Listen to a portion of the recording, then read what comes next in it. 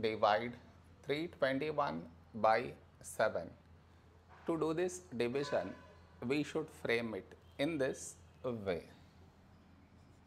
321 here, 7 here. This is your step 1. Next. Here we have 3, here 7. 3 smaller than 7. So we should take two numbers 32. A number close to 32 in 7 table is 7 fourths 28.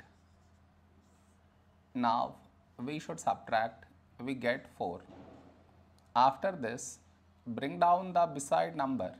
So 1 down, so 41. A number close to 41 in 7 table is 7 fives 35. Now we subtract, we get 6. After this, no more numbers to bring it down.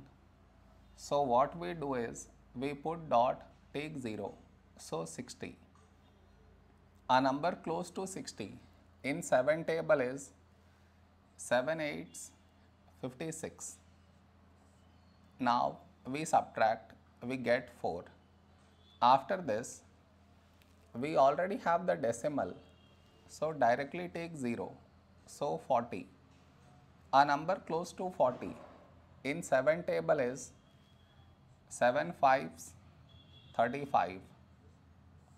Now we subtract, we get 5 and the division continues. It is enough if we do up to 2 decimal places.